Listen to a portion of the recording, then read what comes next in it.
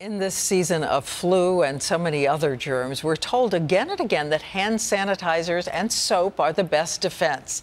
Last year, Americans spent more than $170 million on hand sanitizers alone. So we wondered what works best and how do the sanitizers compare in a showdown with soap? Well, tonight, our chief medical editor, Dr. Richard Besser, puts them to the test and gets some real answers. Clean? As many as 400,000 germs per hand. That's how many bacteria travel with us every day.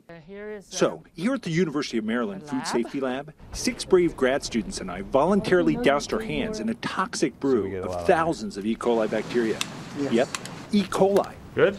There's something uh, a little odd about rubbing E. coli. to see what would take it off.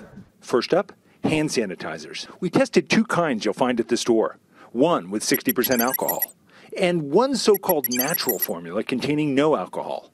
That's good. The key with hand sanitizers is to use enough of it. Your hands should take a full 15 seconds or longer to dry. Now let that air dry, okay?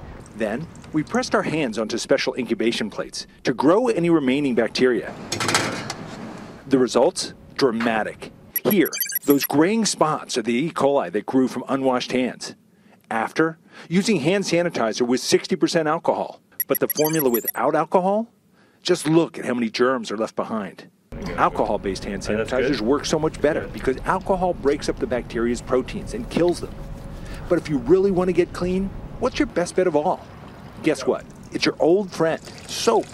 Soap not only does as well on bacteria as the sanitizer, it gets more viruses too. Surprisingly, studies show regular and antibacterial soap are about equally effective. Okay. But how you use Ready, it is crucial. Set, go.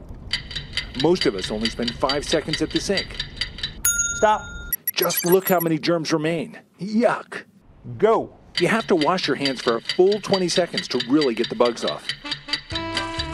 And yes, that's singing happy birthday twice. So let's review it again. Hand sanitizers if you can't get to a sink. Look for one with at least 60% alcohol. But washing with soap, any kind, is better, as long as you wash for long enough. Dr. Richard Besser, ABC News, College Park, Maryland.